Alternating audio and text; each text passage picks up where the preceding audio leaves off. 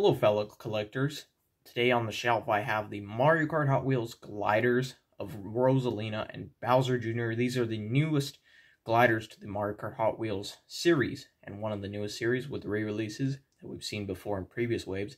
But yeah, thanks for tuning in. We're going to look at these, do a little unboxing and review them and show them better.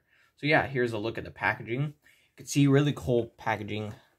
Has a Mario circuit on the background and you can see here um, same for both packaging on the back, but you can see um, shows most of the same basic characters. You got Rosalina, Bowser Jr., the new ones, and all the other ones are the same. Surprisingly sad that um the same cart and glider were used for Luigi and as Ro and Rosalina. So yeah, and they're in this they're in the same wave, which is funny and hilarious. But um yeah, can't wait to get these opened up. So here's a quick closer look at the nice little packaging before I destroy it. Most likely will. But um yeah. And here is Bowser Jr. Really cool. So yeah. I'm going to pause the video and get right to it. So here they are out of the packaging looking fantastic, I think. So yeah, um, we got the Rosalina and we also got the Bowser Jr. Really fantastic. I found both of these at my local Target if you're wondering where I found these.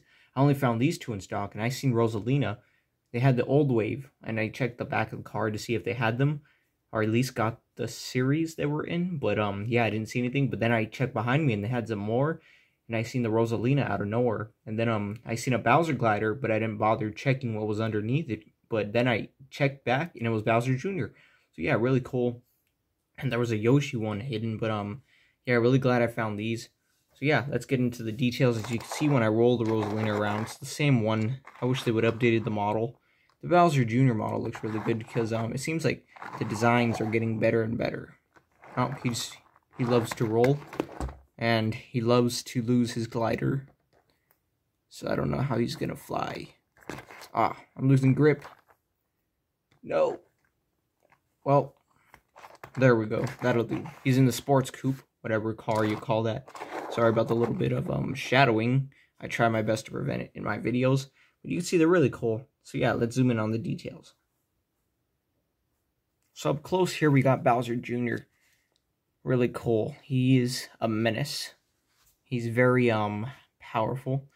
Well, he always uses gadgets and stuff and finds new ways, which is really cool. I like his creative style. There's Bowser's glider, which should have been another glider, but it's pretty cool, you know. I just don't like that they're reusing cars and all that a lot, but I'm still excited to see the new Hot Wheel of him coming out. I haven't got that one yet, just the Hot Wheel, not the glider. The gliders went to $8, guys, by the way. So yeah, $17 for both of these things. It was very expensive. Yeah, Bowser Jr. was worth it, I think, and Rosalina, but that was a lot of money for two cars. That's like enough for a four pack. Because four pack's like 20 bucks. But um, here's Rosalina. Really cool card they chose as well, you know. It's it's kind of fitting. I guess the colors aren't, but I can't wait to get the birthday girl cart, which is um the same color as this character and corresponds with it better, I think. The face of the character looks okay, but um I prefer the Jakks one better. So yeah. These do roll and um they work pretty cool. So yeah, I'm to pause it and do it again. So for a quick comparison, you can see they roll pretty far, and they can roll faster, but I don't want them going out of bounds, you know. But um, they work pretty cool, I think, and great gliders. So yeah, thanks for watching my video. If you like the content shown, a like is always appreciated on my channel. I try to help all you out out there that are looking for a video. So yeah, um, thanks for watching again, and this is Jonathan YT tuning out.